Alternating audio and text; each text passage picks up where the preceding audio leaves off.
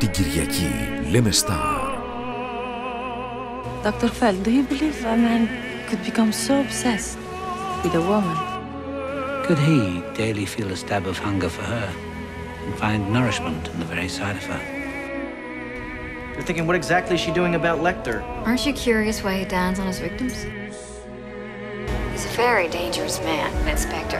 He killed three policemen down in Memphis while in custody, tearing the face off one of them, and he will kill you too.